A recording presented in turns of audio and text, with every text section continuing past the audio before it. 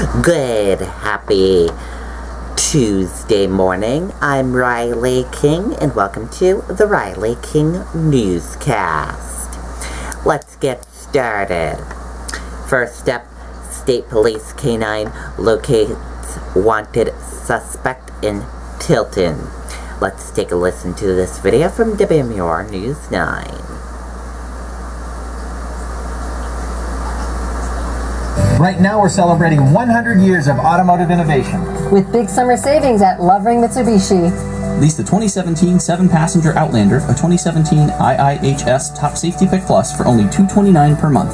Or the fuel-efficient 2017 Outlander Sport with up to 30 highway miles per gallon for only 179 per month. Or purchase any new or used vehicle from Lovering Mitsubishi and your state inspections are on us for life. Lovering Mitsubishi. Cars you love from people you trust. Well, a K-9 is being credited with locating a suspect in Tilton. State police were called to the Taco Bell on Route 3 to search for a wanted man. Police say he is known to carry dangerous weapons and was wanted on arrest warrants. K-9 Vita tracked him through the woods and found him hiding behind a tree. He was taken into custody.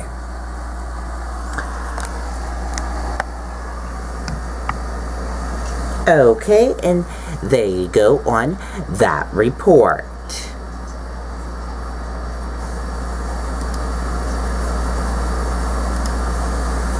Snake on a train. Reptile spotted on red line. Let's take a listen to this video from WCVB Boston.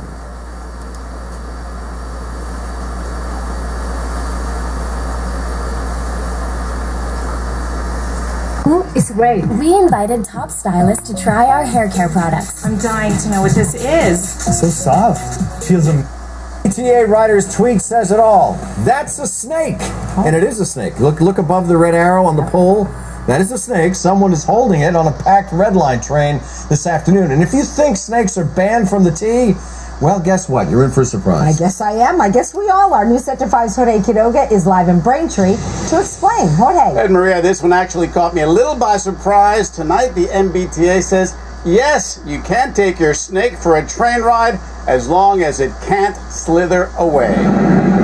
On the red line Monday afternoon, Braintree bound, one slippery commuter caught Ann Keene's attention. She posted this short video to Twitter. there was kind of a crowd near um, near near the guy, and sure he had a snake in his hand wrapped around his arm. Not huge, but big enough to give some riders the heebie-jeebies. Personally, me, I'm scared of snakes. We showed several the video. Well, I think I wouldn't want to be riding next to that person without the snake being in a cage.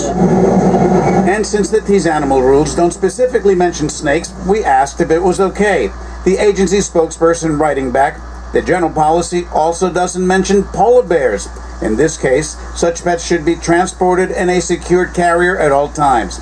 And Keene couldn't get her eyes off it. Would he drop it? You know, would it get loose? I mean, it's just like one of those things that obviously you think about. Do you remember the time where one got lost on a train? In 2011, a three-foot boa named Penelope made news when she disappeared while riding the red line with her owner.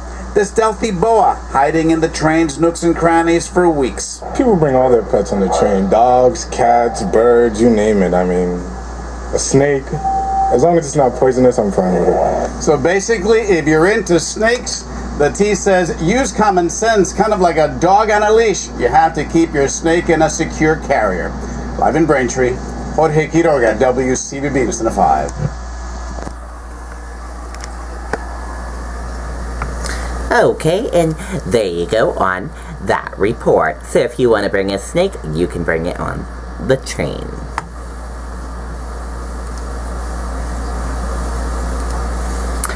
Proposal to cap rent rates in Portland won't appear on November ballot. Let's take a listen to this video from WMTW News 8 in Maine.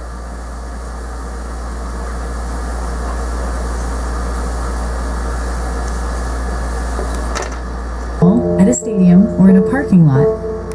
You may have heard some great stories or seen some fun robot selfies. That's because Knightscope's autonomous Well, Steve, right now, city officials say they are apologizing for unintentionally giving the group misinformation. It seems Fair Rent Portland will not see their rent stabilization proposal on the ballot this November. City officials say there was a mistake in the deadline provided to them by the clerk's office for when they needed to get their signatures in. They hand delivered the petitions today.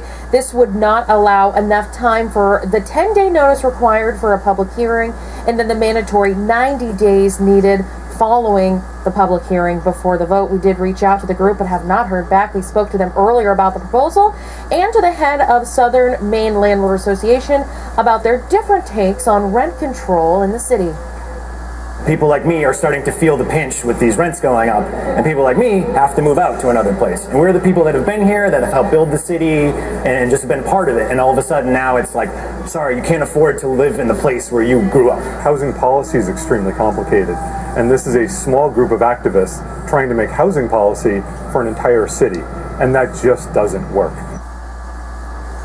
So what we're hearing tonight from the city's communications director is that city staff and council will look into what the next steps may be for this group. Live in Portland, Morgan Sturdivant, WMTW News 8. Okay, and there you go on that report. If you live in the Portland area, let us know what are your thoughts about this. Comment below and let us know. We want to hear from all of you from the Portland area.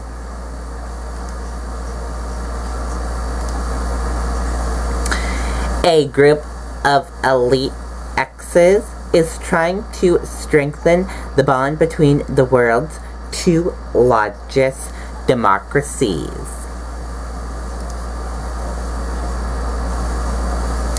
America CEOs have been quick to support strong U.S. India relationship as many see the rising economy as a source of further growth especially as China slows down.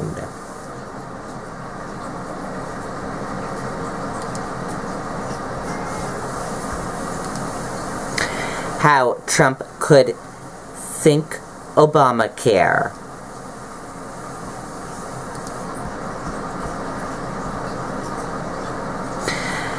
President Donald Trump has been ramping up his threats to derail the Affordable Care Act over the last week after Republicans on Capitol Hill put aside their immediate effort to repeal and replace the law.